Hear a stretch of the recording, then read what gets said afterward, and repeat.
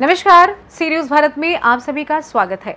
पवित्र मास की शुरुआत होते ही बम बम के जय घोष के साथ आपको सड़क पर चलते हुए कांवड़िए नज़र आ जाएँगे। जो भगवान शिव की भक्ति में लीन, सभी कष्टों को भूल, अपनी धुन में चले जाते हैं, पर उत्तर प्रदेश की योगी सरकार ने कांवड़ यात्रा को लेकर विशेष सहूलियत देने के लिए पूरी तरीके से संकल्पित हैं।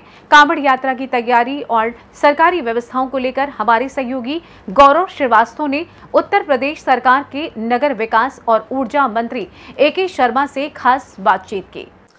पवित्र श्रावण मास की शुरुआत हो चुकी है और शुरुआत हो चुकी है यहाँ पर कांवड़ यात्रा की। उत्तर प्रदेश सरकार ने तमाम इंतज़ाम किए हैं। और इंतजामों के साथ साथ यहाँ पर सहूलियत देने का प्रयास भी किया है। हमारे साथ मौजूद उत्तर प्रदेश सरकार के ऊर्जा एवं नगर विकास मंत्री। जानेंगे क्या इंतज़ाम हैं और किस तरह यहाँ पर सहूलियत दी जा रही है। पवित्र श्रावण मास में मैं सभी शिव भक्तों का, सभी श्रद्धालुओं का, को मैं का मैं सम्मान करता हूँ, नमन करता हूँ। विशेष रूप से कांवड़ यात्रा निकालने वाले, कांवड़ यात्रा में भाग लेने वाले सभी श्रद्धालुओं को मैं नमन करता हूँ। श्रावण मास में सामान्य जो हमारे मंदिर होते हैं, उनमें ज़्यादा भीड़ होती है, ज़्यादा लोगों का आवागमन होता है। सुबह से लेकर के देर रात तक, देर शाम तक लोग आते जाते रहते हैं। उसके मद्देनज़र नगर विकास विभाग ने अपने सभी नगरीय निकायों को सूचनाएँ हम लोगों ने दिया है कि आप उनके मंदिरों के आसपास की सफ़ाई का विशेष ध्यान रखें। मंदिरों में आने वाले लोगों को लाइट की पूरी व्यवस्था हो, पानी की पूरी व्यवस्था हो, आवागमन में उनको कोई दिक्कत न हो, इसके लिए पूरा ध्यान रखा जाए। उसी के साथ बहुत से श्रद्धालु, लाखों श्रद्धालु जो हैं, वो एक एक जगह से दूसरी जगह कांवड़ यात्रा लेकर के निकलते हैं, गंगा का जल लेकर के निकलते हैं, पवित्र नदियों का जल लेकर के निकलते हैं। उनके लिए भी सुविधाएँ करने के लिए हम लोगों ने विशेष सूचनाएँ दिया है। जैसे नगर विकास विभाग विभाग में हमने कहा है कि अगर वो किसी नगर से पास हो रहे हों तो उनके मार्ग में जो रास्ता है उनका उसमें कहीं गड्ढा नहीं होना चाहिए, गड्ढा मुक्ति होनी चाहिए। उनके मार्ग में कहीं गटर का, सीवर का मैनहोल खुला नहीं रहना, रख, रहना चाहिए, जिसकी वजह से कोई एक्सीडेंट हो जाए।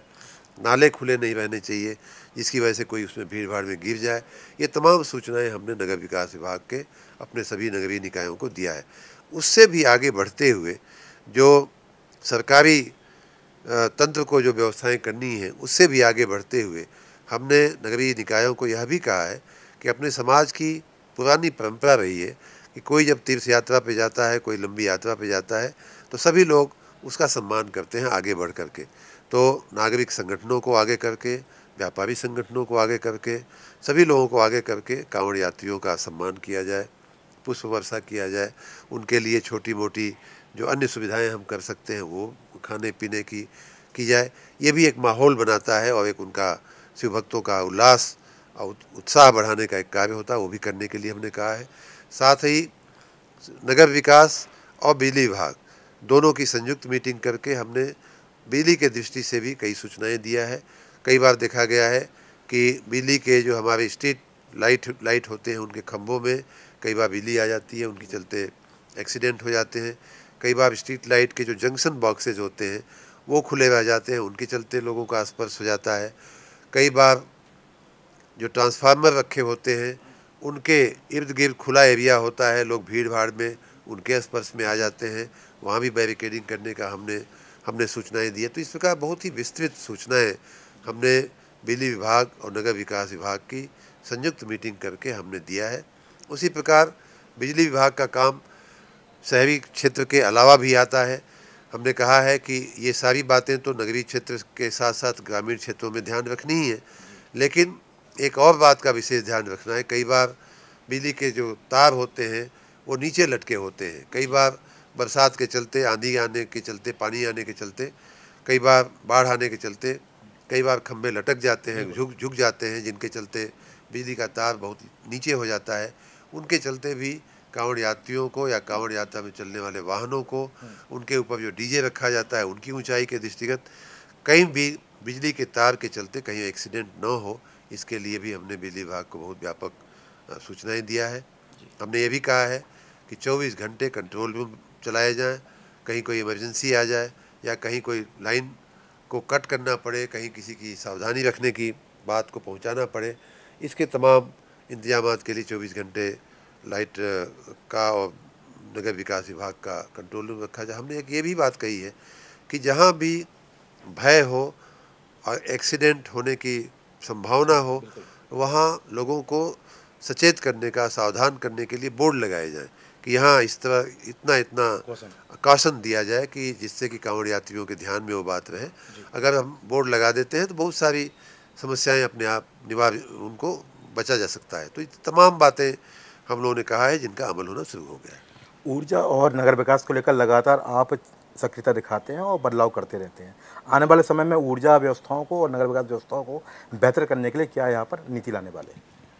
नगर विकास विभाग में हम लोग रोज़ आज भी हम बैठे थे उसके लिए हमने अधिकारियों से चर्चा किया है। नगर विकास विभाग इस बात पे काम कर रहा है कि हमें अपने नगरों को आधुनिक नगर बनाने हैं। नए भारत के नगर बनाने, विकसित भारत के नगर बनाने। आपने देखा होगा कि इस बार के बजट में माननीय प्रधानमंत्री जी ने नगरीय क्षेत्र को एक प्रमुख क्षेत्र मान करके उन नौ चिन्हित आर्थिक क्षेत्रों में से एक क्षेत्र माना है। और इसीलिए स्वाभाविक बात है कि जब भारत सरकार का इतना फोकस है तो हमारा भी फोकस है, जिससे कि चल, जिसके चलते हम नगरों में अच्छी, अच्छे वेंडिंग जोन बना सकें, हमारी सड़कें अच्छी हों, बिजली की व्यवस्था अच्छी हो हमारा कूड़े का प्रबंधन अच्छा हो, हमारे जो नगरीय क्षेत्र हैं, उनमें ट्रांजिट ओरिएंटेड डेवलपमेंट हो, जो मेट्रो रेल जा रही है, उसके इर्द गिर्द अच्छा विकास हो। इन तमाम बातों को लेकर के आधुनिकता लाने का हम निरंतर प्रयास कर रहे हैं।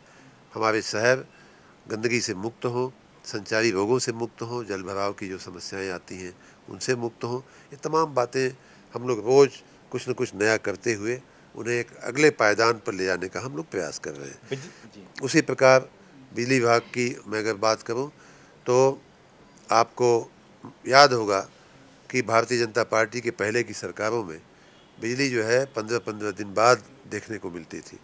हमारे सरकार आने के बाद उसमें काफ़ी सुधार हुआ है काफ़ी अच्छा काम हुआ है। लेकिन उसमें भी जो इंफ्रास्ट्रक्चर की कमियाँ थी जो इंफ्रास्ट्रक्चर हमारा पुराना हो गया था उसमें हम लोग दो काम कर रहे हैं, या तो उसका सही अनुरक्षण होना चाहिए, सही सही मेंटेनेंस होना चाहिए। उस पर हमने भार दिया है। और उसके चलते काफ़ी जो हमारे ट्रांसफार्मर जलने में या तार टूटने में जो घटनाएँ थी, उसमें काफ़ी कमी आई है। दूसरा काम कि नई आधारभूत संरचना, नया इंफ्रास्ट्रक्चर खड़ा करने का भी लगभग बाईस तेईस हज़ार करोड़ रुपए का काम आरडीएसएस योजना के तहत बिज़नेस प्लान के तहत चल रहा है। जिसके तहत एक एक गाँव में खम्भों को बदलने का काम, तार बदलने का काम ट्रांसफार्मर को बदलने का काम, बहुत व्यापक काम इस समय चल रहा है।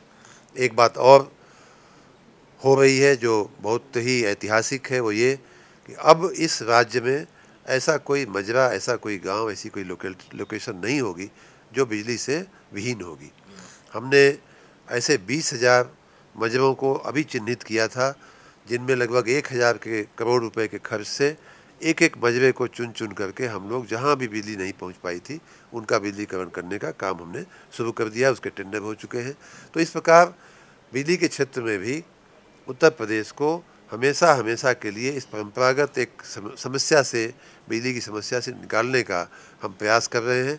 आपने पिछले दिनों देखा होगा कि पूरे देश में, वर्तमान में भी हम पूरे देश में उत्तर प्रदेश सबसे ज़्यादा बिजली देने वाला राज्य बना है। तीस हज़ार मेगावाट, उनतीस हज़ार और तीस हज़ार मेगावाट की रेंज में हमारा इस समय का लोड चल रहा है बरसात होने के बावजूद भी। जब गर्मी थी तो हम लगभग इकतीस हज़ार मेगावाट को हमारी पीक डिमांड टच कर गई थी। मिलियन यूनिट की बात करें तो 600 मिलियन यूनिट से भी ज़्यादा हमारा लोड चल रहा है। तो इस प्रकार हम पूरे देश में सबसे ज़्यादा बिजली देने वाले राज्य बने हैं। इतिहास में कभी भी इतनी बिजली उत्तर प्रदेश में नहीं दी गई थी और पूरे देश में किसी भी राज्य के द्वारा इतनी बिजली कभी न दी गई थी और नहीं दी जा रही है। उतनी बिजली हम उत्तर प्रदेश में दे रहे हैं। और इसके लिए हम अपनी इंफ्रास्ट्रक्चर को और मज़बूत बनाने के लिए दिन प्रतिदिन लगे हुए हैं। प्रधानमंत्री सौर ऊर्जा को लेकर संकल्पित हैं योजना भी लेकर आए हैं।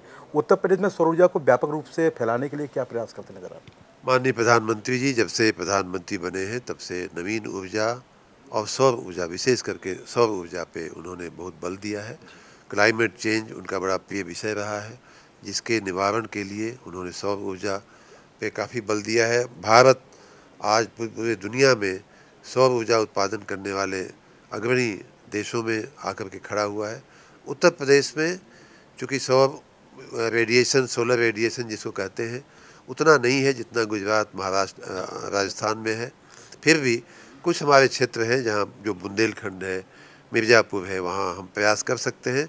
वो प्रयास अब हमने करना शुरू किया है। लगभग दस हज़ार करोड़ की सौर ऊर्जा की बड़ी परियोजनाएँ इस समय पाइपलाइन में हैं, जिसमें ज़्यादातर बुंदेलखंड में है, कुछ और अन्य जगहों पे भी हैं। साथ ही माननीय प्रधानमंत्री जी का एक प्रिय विषय है कि हर घर पे सौर, सूर्य ऊर्जा उत्पादन किया जाए। सूर्य मित्र और सूर्य, हर घर सूर्य वाली जो योजना है, जिससे कि सामान्य नागरिक को, सामान्य परिवार को बिजली जो है फ्री हो जाए, इस तरह का माननीय प्रधानमंत्री जी की भावना है। उसके तहत भी हम लोगों ने काफ़ी काम करना शुरू कर दिया है। विशेष रूप से माननीय प्रधानमंत्री जी के संसदीय क्षेत्र बनारस से हमने शुरुआत किया था। हज़ारों लोगों ने उसमें नामांकन किया है। हज़ारों लोगों ने उसमें अपना रजिस्ट्रेशन कराया है। कई लोगों, कई हज़ार लोगों को ऑलरेडी वो इंस्टॉलेशन हो चुका है और हम उस दिशा में भी बहुत तेज़ी से आगे बढ़ रहे हैं। उत्तर प्रदेश में इस बार का मानसून थोड़ा अनियमित रहा है। कहीं बाढ़ तो कहीं कहीं कम बरसात के चलते सूखे जैसी स्थिति भी देखने को मिल रही है। कम बरसात वाले इलाकों में किसानों को धान की रोपाई में दिक्कत ना आवे, इस समय रोपनी का सीज़न है। धान की रोपाई में दिक्कत ना आवे।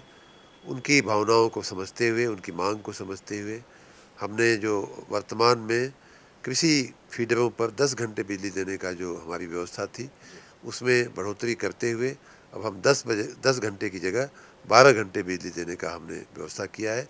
मैं आशा रखता हूँ कि किसानों को इससे संतोष होगा और उनकी धान की रुपाई में बहुत अच्छी वृद्धि होगी। तो ये थी हमारे सर उत्तर प्रदेश सरकार की ऊर्जा नगर विकास मंत्री ए के शर्मा। उन्होंने बताया है कि कांवड़ यात्रा के तहत यहाँ पर तमाम तरह की सहूलियत दी गई है और साथ ही साथ उन्होंने ये भी बताया कि ऊर्जा क्षेत्र में हम बेहतर की लगातार काम कर रहे हैं और सौर ऊर्जा को बढ़ाने के लिए संकल्पित हैं। आने वाले समय में तमाम व्यवस्थाओं को और सीधा किया जाएगा और साथ ही साथ यहाँ पर व्यवस्थाओं को सुचारू रूप से चलाने के लिए भी लगातार सक्रिय बने रहेंगे। क्या पर्सन दीपक के साथ गौरव सिंह भारत, लखनऊ। फ़िलहाल इस खास रिपोर्ट में बस इतना ही। देश दुनिया की तमाम खबरों की जानकारी के लिए आप देखते रहिए सी न्यूज़ भारत। हर खबर आपके साथ, आपके हाथ।